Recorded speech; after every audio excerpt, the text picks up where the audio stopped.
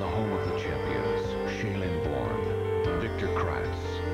Young, vibrant, Canadian champions giving everything they've got. The World Figure Skating Championships start Tuesday on CBC.